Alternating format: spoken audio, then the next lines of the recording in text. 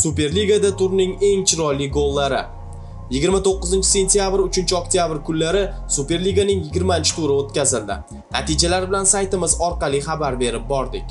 Ushbu turda bir qator qiziqarli o'yinlar, o'ziga xos qarama-qarshiliklar kuzatildi. Peshqadamlikni avvalroq boy berib qo'ygan Navbahor Toshkentda kutilmaganda Bunyodkordan yengildi. AGMK Jizzaxda 2-0 hisobidagi g'alabaga erishdi. Bekobodliklar Qizilqum maydonidan 3 ochko bilan qaytdi.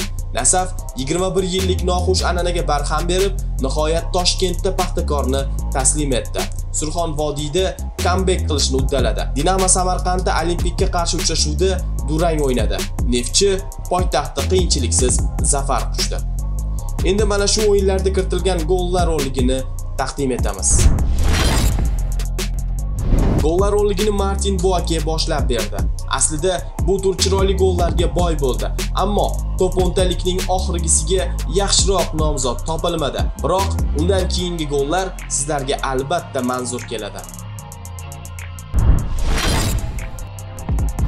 Murod Xolmuhammedov nafaqat Qo'qon 1912dagi, balki standartlarni amalga oshiradigan O'zbekistondagi eng yaxshi futbolchilardan biri. Himoyachi bo'lishiga qaramay, mana shunday jarima zarbalarini ko'p bor maromiga yetkazadi. Xolmuhammedovning zarbasini raqib futbolchisi boshi bilan qaytaraman deb darvozaga kirib ketishini yanada osonlashtirdi.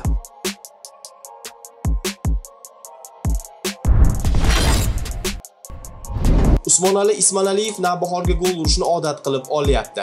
Ismonaliyev o'tgan yili Andijon safida ham Lochinlar darvozasiga yo'l topdi. Bu safar ham futbolchi o'z nomini tabloga yozdirib qo'ydi. Vaziyat bir qarashda hammasi Navbahor himoyachilarining nazorati ostida edi. Biroq Boyan Sigir va Stanislav Andreyevning bir-biriga ishonib qolishi natijasida O'tkir Yusupov darvozasi ishg'ol qilindi.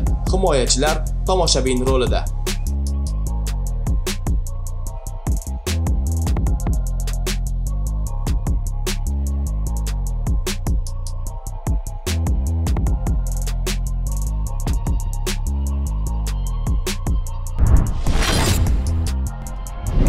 Surxonning ispaniyalik legioneri Ruben Sanchez oxirgi paytlarda yaxshi o'yinlari bilan jamoasiga foyda keltirmoqda. Uning gollari termizliklarni qiyin vaziyatlardan olib chiqyapti.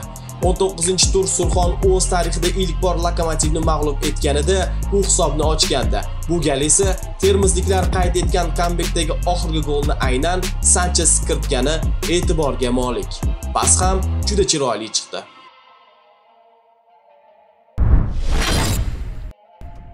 Dinamo Superligada qolish uchun kurashmoqda. Jamoaning ishlari yurishmayapti. Samarqandliklarning tajribali murabbiyi va futbolchilari bor. Biroq ular ham jamoaning jon saqlash yo'lida kuchlari yetmayapti. Ammo katta o'yinlarni ko'rgan Marat Vikmayev chiroyli gollar urishni biladi. Darvoza ishg'ol qilingan vaziyatda ham to'pni to'xtatmasdan to'rga kiritdi. Hammasi hisob-kitobli. Vikmayevdan olimpiyachilarga master klass. Yuqorida bu tur Navbahorning gol o'tkazib yuborishida xatoga yo'l qo'ygan Stanislav Andreyevni aytib o'tgandik. Ammo u jamoadoshi Jasur Yaxshiboyevning boshi bilan darvozani ishg'ol qilishda katta hissa qo'shdi. Stasning uzatmasi ajoyib chiqdi. Chiroyli kombinatsiya, nishonga urilgan uzatma va baland bo'yli Suhrob Sultonovning dog'da qoldirilishi.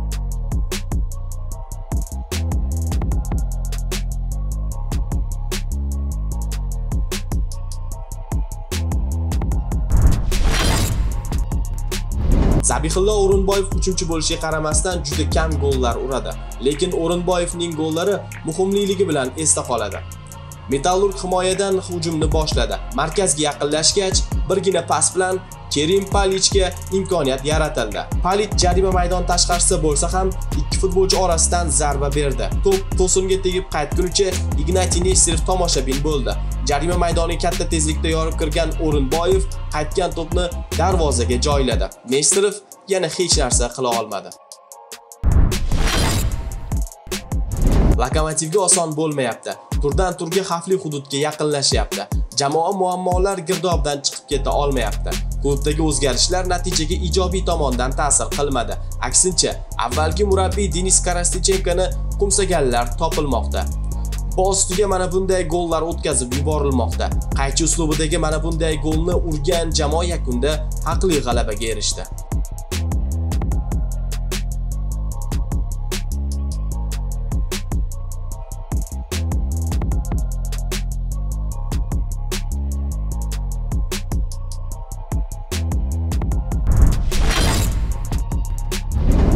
Yil o'yini 2. Futbol jamoatchiligi Paxtakor Nasaf uchrashuvini shunday atadi. Birinchisi Namanganda Navbahor Paxtakor bellashuvi edi. Turnir jadvalida qo'sh hokimlikni yuzaga keltirgan bu jamoalar 20-turda o'zaro to'qnash keldi. O'yin taqdirini yagona gol hal qildi. Marko Stanovichning pasdan so'ng Dilshod Saitov biroz oldinga chiqib olgan Sanjar Quvatovning bo'yidan to'pni tushirib qo'ydi. Bir qarashda to'p darvozaga rikoshetdan borib tushgandek taassurot qoldirdi. Biroq takroriy lavha buning aksini namoyish etdi. Saitovning zarbasini Quvatov har qancha urinmasin baribir qaytara olmadi. Mukammal zarba. Superligada nafaqat intriga, shu bilan birga chiroyli gollar ham oshdi. Yil goli bo'lishga nomzod. Islomjon Toshpo'latov Surxon 0-2 hisobida imkoniyatni boy berayotganda, mana shunday goli bilan uchrashuvda burilish yasadi. Bu gol mehmonlarga ijobiy ta'sir qilgan bo'lsa, mezbonlar shundan keyin o'zlarini o'nglay olmadi. 2009-yil Yevropa Chempionlar Ligasida Cristiano Ronaldo Manchester United safida Portuga shunga o'xshash gol urgandi. Keyin Ronaldo Pushkash sovrinini qo'lga kiritgan. Toshpo'latovning goli Cristiano'nikidan chiroyli bo'lsa borki, aslo qolishmaydi. Pushkash sovrinini O'zbekistonga olib kelsaga, har qancha tomosha qilishga arziydigan gol. Ko'ring va zavqlaning. Qaytgancha, siz ham kommentda qaysi gol chiroyli chiqqaniga baho bering hamda fikringizni yozib qoldiring.